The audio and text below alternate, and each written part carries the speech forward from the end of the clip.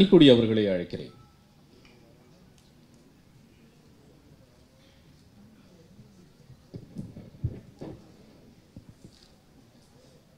பத்திரிகையாளர்களுக்கும் தொலைக்காட்சியாளர்களுக்கும் நன்றி தெரிவித்துக் கொள்கிறேன். கொம்பன் குழுவினருக்கு என்னுடைய நன்றி. இந்த நன்றி சாதாரண நன்றி இல்லை. ஒரு ஐம்பது படத்தில் கிடைக்க வேண்டிய எஸ்டாப்ளிஷில் எனக்கு ஒரு படத்திலே கொடுத்துருக்காக சார் முத்தியா சார் அவர்களுக்கும் தயாரிப்பாளர் ஞானவல்ராஜ் சார் அவர்களுக்கும் கார்த்திக் சாருக்கும் மற்றும் என்னோடு அன்போடு பழகி என்னுடைய குடும்ப உறவாக இருக்கிற கும்பன் குழுவினருக்கும் எதிரே இருக்கிற அத்தனை பேருக்கும் நான் நன்றி தெரிவிப்பதற்கே இந்த மேடையை பயன்படுத்தி விடைபெறுகிறேன். நன்றி வணக்கம். ரொம்ப சுருக்கமாக பேசிட்டீங்க சார். ரொம்ப தேங்க்ஸ் சார். அடுத்ததாக இந்த படத்தோட ஆர்ட் டைரக்டர் திரு வீரசமர் அவர்களை பேச அழைக்கிறேன். அதுக்கு முன்னால் அவர் இந்த படத்தில் ஒரு கேரக்டர் நடிச்சிருக்காரு. அதை பற்றியும் அவர் பேசுவார். சார் ப்ளீஸ் வாங்க.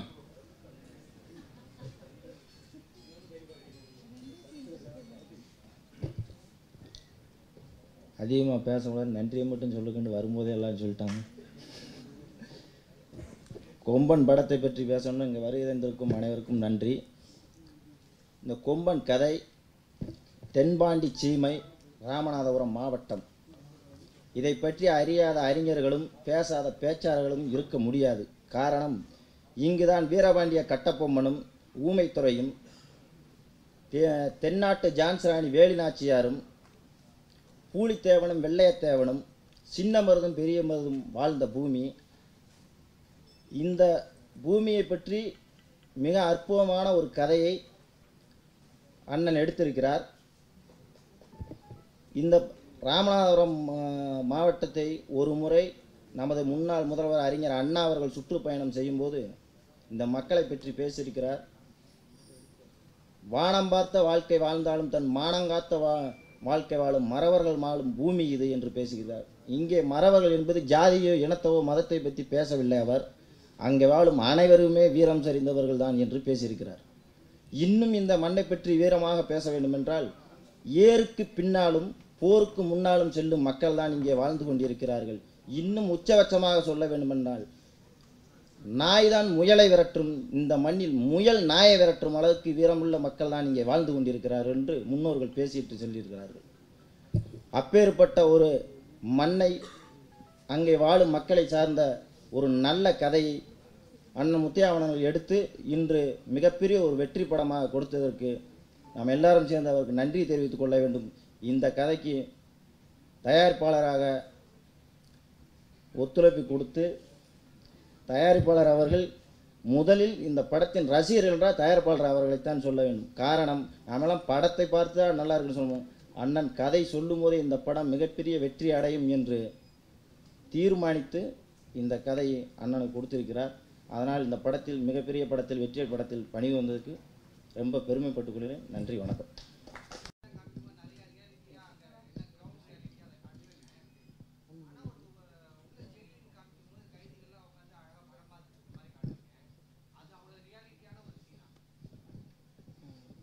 அண்ணா அஹ், பது அதாவது ஒரு மாதத்துக்கு ஒரு தடவை இல்லை ஒரு ஆறு மாதத்துக்கு ஒரு தடவை?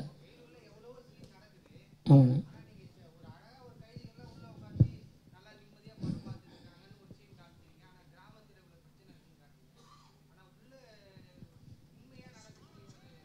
இ- இல்லைண்ணா சிறையில் வந்து படம் போடுறாங்கண்ணா இது நான் வந்து.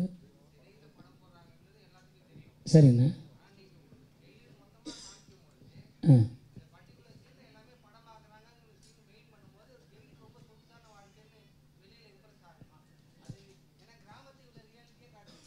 இல்லைண்ணே க கதைக்கு தேவையான விஷயத்த மட்டும் இப்போ அந்த கதைக்கு அந்த உள்ளே போய் அது பிரச்சனை என்ன மாமனை உள்ளது பண்ண போகிறாங்க அப்படிங்கிற விஷயத்த மட்டுக்கும் அன்றைக்கி ஒரு படம் போடுறாங்க அப்படின்னு அதை யூஸ் பண்ண அப்படின்னு சொல்லி காட்டியிருக்கிறேன்.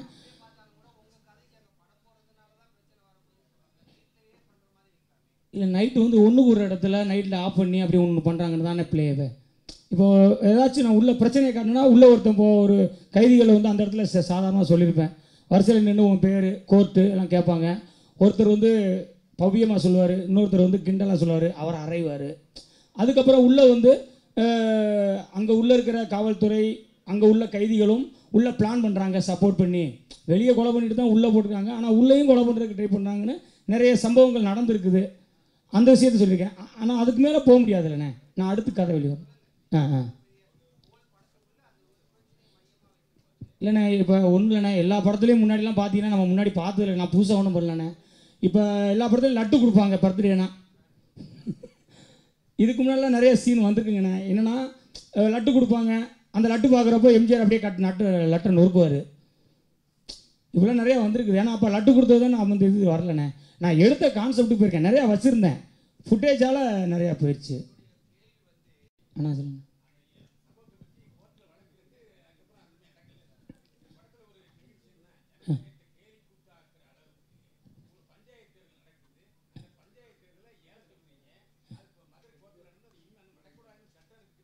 ஆமாண்ணா இல்லைண்ணா அதுதான் நான் என்னன்னா அந்த விஷயத்தில் அவர் ஊர் தலைவர் பேசுவார்ண்ணே. அது தப்பு அதுதானே?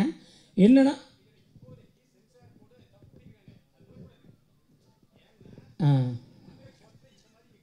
நன்றிங்கண்ணா. நன்றி நன்றி ஆனால் இதில் எந்த குறைகள் இருந்தாலும் அது என்னுடைய அடுத்த படத்தை வருகை தந்திருக்கும் அண்ணன் ராதாரவி அவர்களே அண்ணன் சிவசக்தி பாண்டியன் அவர்களே சகோதரர் சிவா அவர்களே சத்யா அவர்களே பத்திரிகை நண்பர்களே தொலைக்காட்சி நண்பர்களே படத்தில் பணிபுரிந்த நடிகர்களே நடிகைகளே தொழில்நுட்ப கலைஞர்களே சம்பத்ராஜ் என்னுடைய ஃபஸ்ட்டு படத்து டான்ஸ் மாஸ்டர் ரொம்ப ஆச்சரியமான விஷயம் என்னென்னா நாங்கள் சின்ன பிள்ளை படம் ஷூட் பண்ணிவிட்டு அந்த படத்தை பார்த்த ஃபர்ஸ்ட் ப்ரொஜெக்ஷன் தியேட்டர் இந்த எம்எம் தியேட்டர் தான்.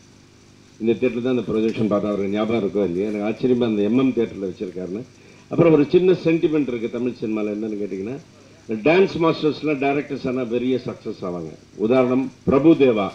இன்னைக்கு வந்து இந்தியில் நம்பர் ஒன் டைரக்டர் பிரமாதமாக இருக்கார். அதே மாதிரி லாரன்ஸ் நடிகர் இயக்குனர். அதுக்கப்புறம் அந்த வரிசையிலே சம்பத் ராஜ். நிச்சயம் வருவார் என்று வாழ்த்தி விடைபெறுகிறேன். நன்றி வணக்கம்.